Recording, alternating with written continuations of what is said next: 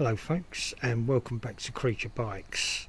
Um, this is the uh, uh, Sixer that I've been doing videos about.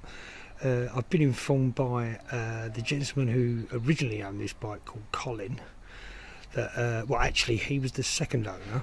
Uh, another man called Mr Reese owned it before him. It's a mid 70s. I thought it was mid 60s. It's mid 70s. Um, now, the reason I haven't got any further with the bike since, other than stripping the paint off, is due to the uh, COVID 19 problem.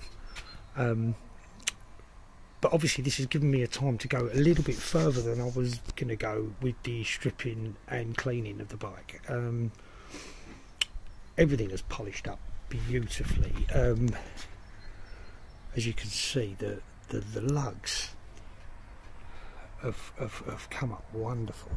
Um, the forks haven't cleaned up too bad. There was a fair bit of rust on them. But not being able to get the stuff that I need to finish this is what's causing the problem. Um,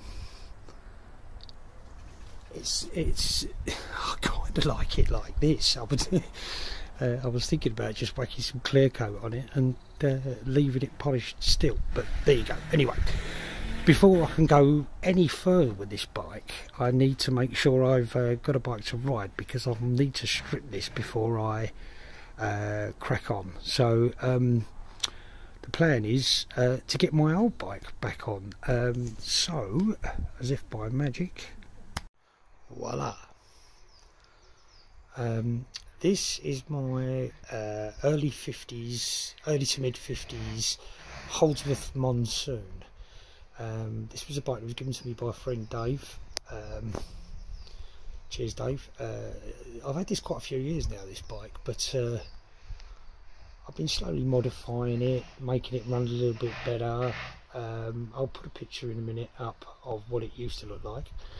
Um, right, uh, actually, there's nothing actually wrong with this bike, uh, other than the fact that the seat post is jammed and so is the uh, stem. Uh, they, they are well and truly seized up. Um, they still work but they're seized. Um, the only thing that's wrong with it is a puncher which I've uh, got to fix. So that's going to be what this video is about. I'm going to run through how to do this uh, on all different types of wheels um, but anyway this is the Holdsworth. Look at the lugs. Oh, look at the lugs. Oh. So, right, okay, let's uh, crack on.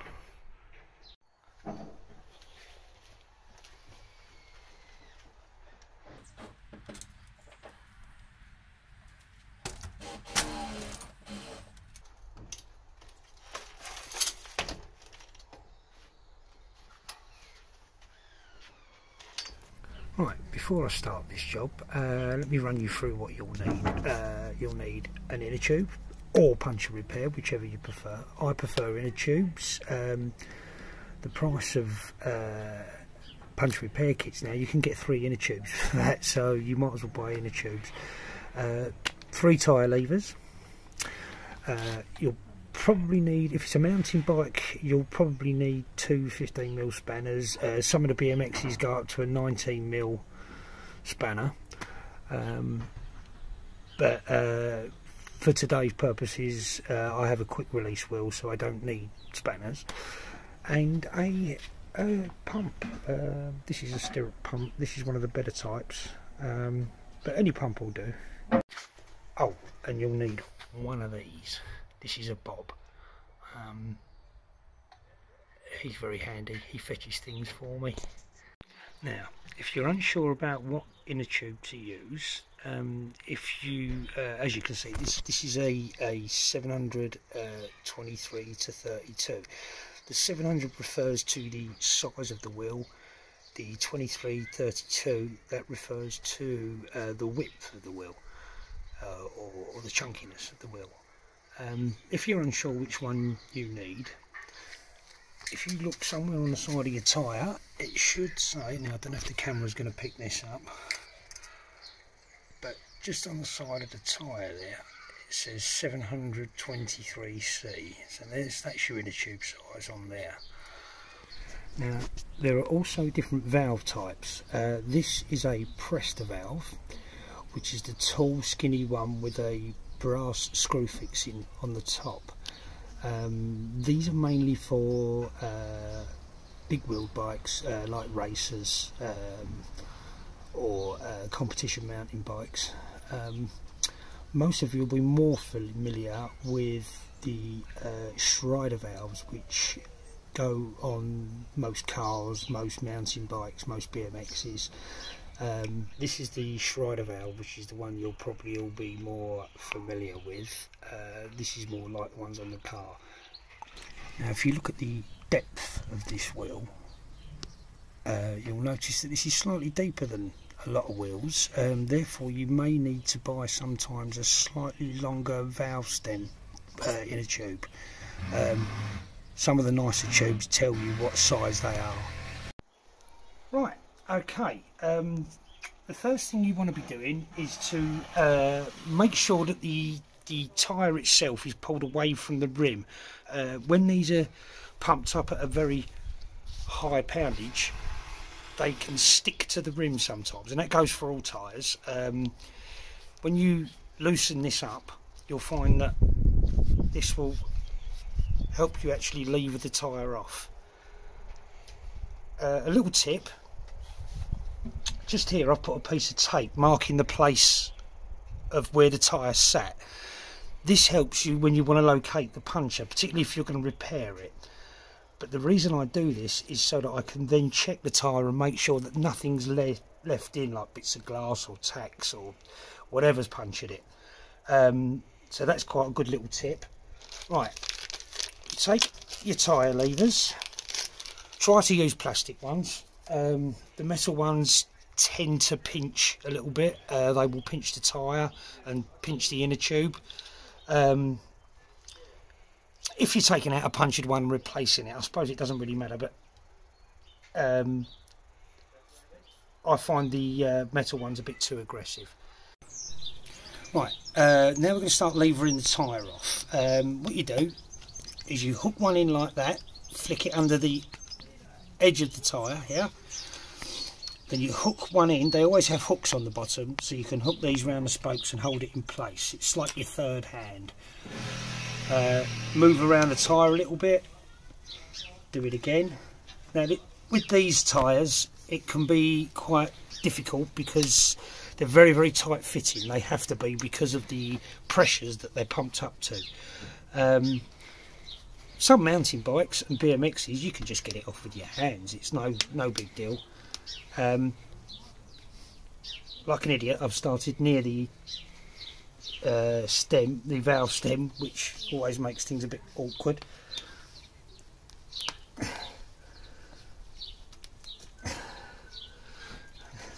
Hey, we'll go back this way.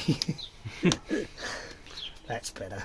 Right, once you've done the third one in, these two will loosen up. So you can take one out, pop that underneath, take that one out, pop that one underneath. Then once you get to a certain point you can just lever it off like this.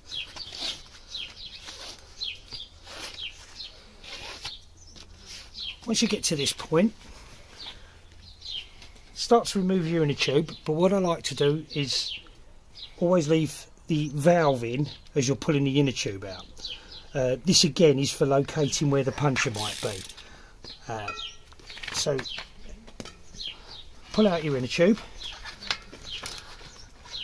Then I'm undoing this little brass attachment on the top of the valve which releases it and allows air in and out. Um, right. What I do here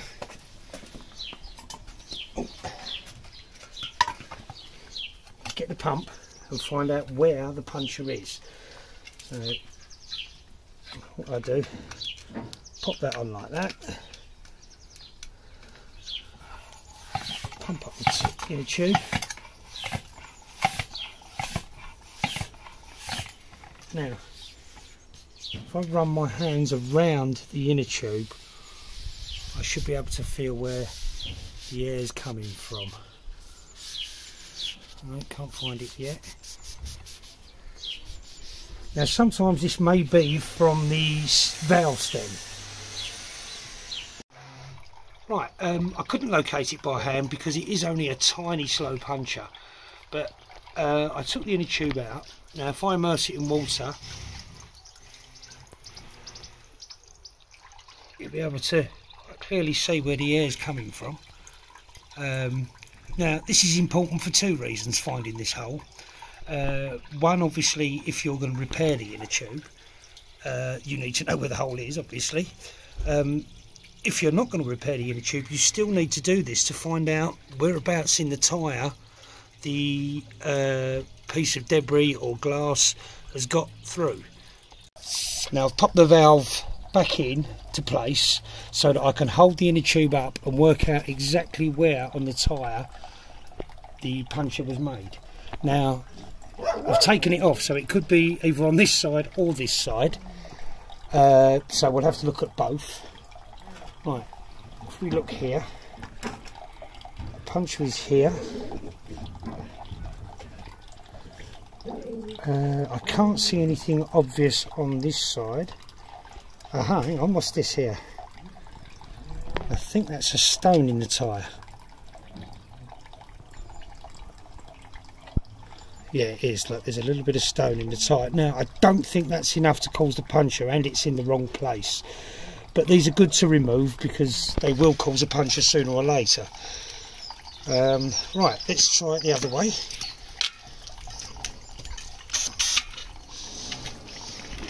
Right, the puncture was here. Let's have a look. Oh, now there is a slash in the tyre there. Oh, hang on, what's this here? There you go. I think that's what's caused the puncture. Whatever that is there. Yeah, it's a bit of stone there. Uh, I've taken it out now. That's sharp. You can see it's like a little bit of flint. That's probably caused the puncture. Right, uh, now for replacing the inner tube. Um, as you can see, it's a fairly long stemmed Presta type valve. Uh, this little collar here is to hold the inner tube in place. Um, make sure you take this off before you put the inner tube in, otherwise uh, your, your inner tube, uh, your uh, valve will be rattling around. Right, put that in the hole. There, put your stem in the hole.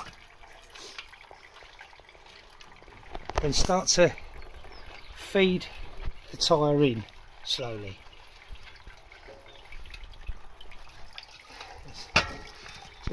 Tucking it just inside the tyre getting it out of harm's way because when you put this back on this tyre is so tight that you will need to lever it in. Um,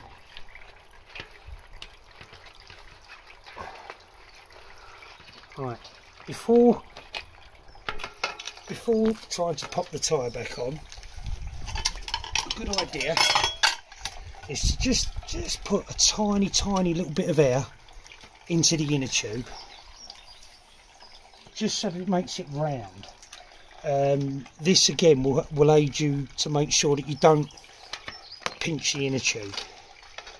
Right then slowly start to pop the tyre in. Now that co this collar wait until um, you've actually got the tyre on before you screw this right up because if you put it on very very tight. It pulls the inner tube down inside the wheel and sometimes the tyre can't locate in the rim. So it's always a good idea just to leave a little bit of room on there just so that you can wiggle this around. Right. and slowly start to pop the tyre on making sure that the inner tube's tucked in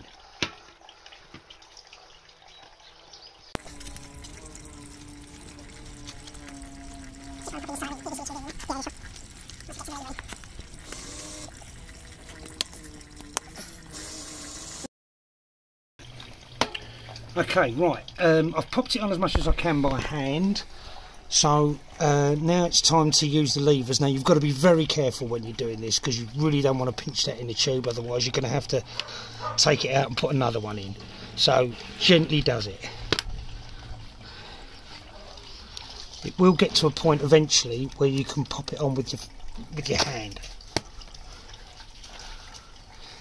don't concern yourself about this twisting. This is just where you're putting it under a lot of tension.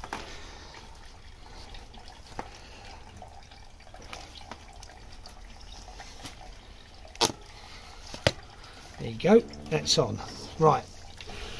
Once the tyre is on um, just look around the tyre just checking between the tyre and the rim of the bike here just to make sure that none of the inner tube is sort of tucked underneath the edge of the tyre. Uh, this looks pretty good.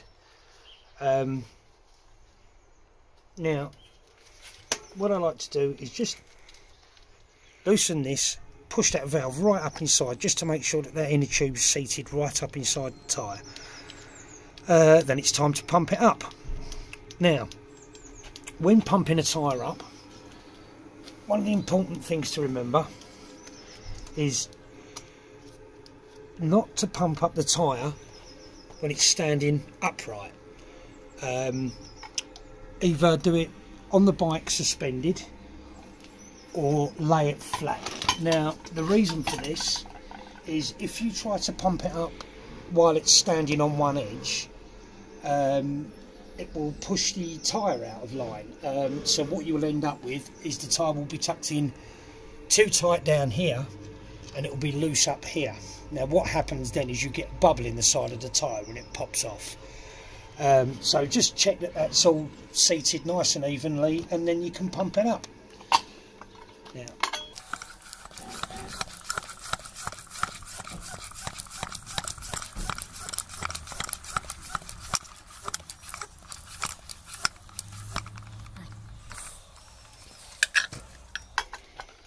Okay, uh, as you can see, I've taken this up to uh, 90 psi on the meter.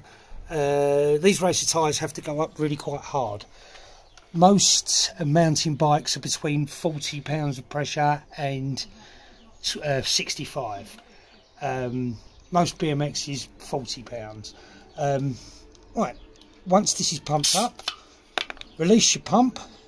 Make sure you tighten this little valve lock here. Small piece here. Tighten up the ring. Then it's time to pop it back on the bike. Right now replacing the wheel. Um, if your bike is geared what you'll need to do first lift the wheel up into position almost into position. Make sure that the chain that's hanging at the bottom here is over the top of your wheel nut right? The top part should be sitting on the top of the gears. Once it's like this if you push down on the derailleur it should slide up into position. Once you've got it there pop the wheel into place and tighten it up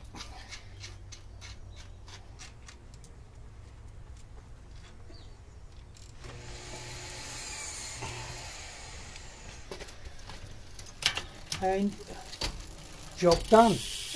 One puncture fixed